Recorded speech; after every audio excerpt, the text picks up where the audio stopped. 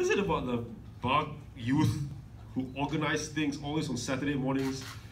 I mean, like, you know, I've been talking to you people before you were even studying. Right? I was, you know, I'm, before you were even a lawyer, I was already doing this kind of stuff, and it used to be so, you know, always so early in the morning. It's on a weekend, it's cruel. and it's so boring now, isn't it? Uh, it's so, I mean, this is so boring, right? I mean, it used to be, you come to these things, there's a little frisson of excitement. You know, I'm being bad. You know, I'm being naughty. I'm going to be anti-government. It's so, you know, it's so naughty. You know, it feels a bit sexy. But now I'm sharing the stage with a, you know, someone from the ruling party. It's horrible. Um, it's so dull. Uh, oh, there's, there's no excitement. And then why on earth do you invite Andy? No, seriously, why on earth do you invite Andy, alright? Okay, first he's from the party which is the least repulsive party in the Barisan Nasional. alright? And then secondly, I've known him for many years and he's a good dude. I cannot mock him. Uh, you know, you, you know, you should have been why, where, where's Khairy? Why is Khairy not here? I want to mock him, man. I want to stand here and make fun of him because come on, it's only been a month. All right, it's only been a month. They've had it for 60 years. We deserve to mock them, to make fun of them. All right? ah, yeah. Opposition. What opposition? Um, I mean, on, honestly, what, what, at this stage, we don't have an opposition at all because what are they going to give us as an alternative? Right? I mean, what? And he's right. The credibility issue is huge. Because what, you know, what, they're going to come up and suddenly, you know, someone uh, going to say, oh, we have to be careful about corruption. Yeah, right. yeah, absolutely, dude. Yeah, yeah. No, we are against corruption. We are in opposition. We will make sure you are not corrupt. yeah. Okay, yeah, sure, sure, of, of course. I mean, what, what, what are you going to offer the people of Malaysia right now? We must go back to having a lot more race issues raised because that's all we are about. Okay, let's, let's go back to being racist because that's what we want. I mean, honestly, what, what are they going to, you know, uh, you know, and, and now you could see them desperately fighting for credibility. Right? This is why I want to I want to see KJ here. Because he's the most desperate of them all, right? It's hilarious. You know, oh, I knew something was wrong, but I didn't say anything. I'm so sorry I didn't say anything. I was busy drinking Kool-Aid. I mean, come on, man. I mean, I, am sorry, you know, are these the kind of people who's, who's gonna, gonna give us a credible opposition? No, of course not. Um, Okay, so, right, uh, you already spoke about parliamentary reform, that's cool. Um, uh, civil society, uh, Maria spoke about civil society. But, you know, it's quite funny because civil society, I mean, it's not just uh, NGOs and stuff like that. Um, civil society includes anyone, you know, um, really. And, and then some of these people, I know, from my, from my bidang, right, from the educationist perspective, you know, some of these guys are just, they just crack me up because they have, you know, zero uh, strength of conviction. Okay? Two weeks before the election, it was, um, yes, Najib is heading in the right direction. We are doing the right thing. You know, these are professors. Huh? Full professors, not like me. You know, I'm not a full professor, right? You know, just associate only. Right? Okay, but you know, you have full professors Majlis Professor Negara and all that, you know, going, oh, you know, this is this is the country is going in the right direction. Najib is a good leader. You know, two weeks later, it's oh, this change is good for the country. You know, you don't even have the strength of your own conviction to stick to whatever it is that you were saying before. You would switch and you would sway according to where the wind blows. So there, you know, when we talk about civil society, let's ro not romanticize civil society. There's some real dungus in civil society and most of them have doctorates. so what can we do, right? Okay, so now that I've said, uh, you know, the, the, opposition at the moment, uh, yeah, and absolutely like the zero credibility. It's very difficult for them to do anything. It'll take time. It'll take new faces. It'll also take new faces. It's got to be people that you don't associate immediately with the last regime. And, and at the moment, unfortunately, I mean, definitely with UMNO, you associate every single one of them, tiap tiap satu ekor tu, with the last regime. All right, so it's, it's very it's very hard, you know, to you know to for, for them to talk about separation of powers, independence of the judiciary, you know, all this, you know, all the stuff that you want. Okay, you, we can't hear it from the opposition politicians because it's ludicrous. I mean, they're so desperate now. They're talking about making MCA and UMNO multiracial parties. That's like saying, I want to open a vegetarian steakhouse. Okay, it, it, it doesn't make sense. Your reason that, your entire reason for existing is to be race-based. And then suddenly, oh, you, oh, we're going to be non-race-based. So, you know, about what, uh, the United Malay, no, not Malay, National Organization, you're going to change that, is it? I mean, uh, the Malay Chinese Association, come on, right? It's, it's, it's, it's, it's an act of desperation. But, you know, let them be, it's okay. Anyway, so what can we, you know, so what do we need? All right.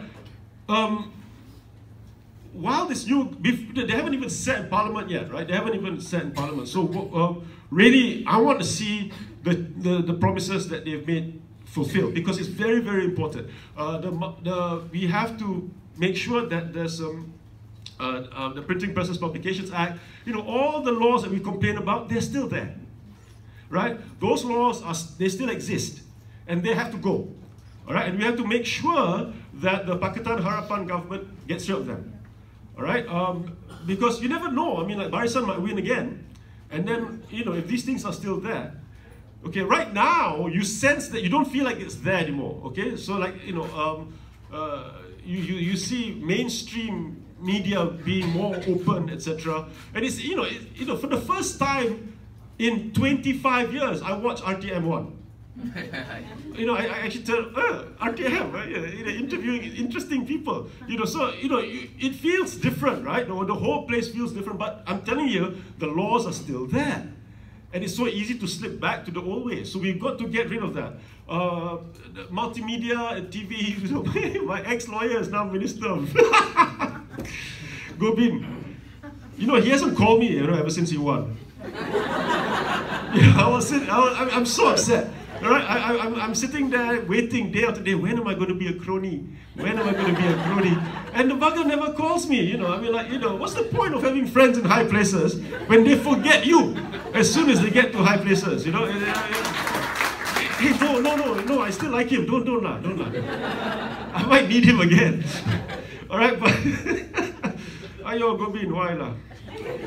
Okay, so you know, a, a freer television, you know. It, these kind of things we need, you know, um, and we need it entrenched in law so that it cannot be taken away, easily at least. Uh, how about Freedom of Information Act? For the whole country, that would be really, really good. An FOI, because you know the FOI that we have right now in uh, Penang and Selangor is quite weak because it's still subservient to the national laws, which include the Official Secrets Act. Right, so we need to look at the Official Secrets Act. We need to look at the freedom of, uh, to look at adding a freedom of information law so that the opposition can work better, whoever the opposition might be in whatever form. Right? Okay, so there's less secrets in, in governance. Now, within government itself, also, I think there can be some things done, and I, I and, and I hope it will be done, where there's actually check and balance within the government itself. Okay, um, you know, so uh, in, in the past, it's, as you know, uh, it, has been too, the, the power has been too centered into on one person. Right? The prime minister is so powerful, too powerful. All right, and and it, it it's, it, and it's partly because of our feudal nature, right? It's partly because of our feudal nature that the leader becomes something godlike. All right, okay. I mean, you know, wasn't it disgusting immediately after the elections? You know, the sudden godlike worship of Mahathir. You know, it's like, you know, legend lah, and like, come on lah, please lah. You know, it's, it's kind of gross to me, you know. I mean, the, you know, immediately people were, you know, macam like he can do no wrong. You know, tiba-tiba the guy can walk on water. It's this kind of thinking which we have to get rid of. But more importantly, okay, it's difficult to change the country, but the cabinet, for example, have to make sure that they work as a cabinet and not as some sultanate. All right? Okay? And then we can bring back, I mean, the whole idea, our entire democratic system, our entire parliamentary system is based on the British parliamentary system, which means that the prime minister is actually first amongst equals. The Prime Minister is not something unique because the Prime Minister does not get his or her mandate separately from everyone else. The Prime Minister is merely a member of Parliament which the House has confidence in to lead the government. Unlike a president who's elected separately, yeah, and therefore the mandate of the president comes from the electorate. The mandate of the prime minister actually comes from the parliament. So the so we have to you know it would be nice it would be good you know actually it's absolutely vital that we go back to really having a prime minister who is merely first amongst equals and not some dewa sitting on top of a mountain issuing orders. And that is for the Pakatan MPs and the Pakatan cabinet uh, ministers to make sure that this happens. All right so that's something that they can do within now, I'm hoping that Pakatan succeeds for a long, long time and continues for a long time because this is our only hope to move away from business as usual. We need to have Pakatan successful, not so much because you know, one supports one political uh, coalition over another political coalition, but we need them successful so that we can change the narrative of politics in the country. We need them to be successful so that people can see, ah, yes, economy can grow, uh, things can be better for everyone without, for example, being overly obsessed about race and religion. So, you know, this is an opportunity for the, for the government that sits now to change the way we talk about politics, to move away from the old stuff.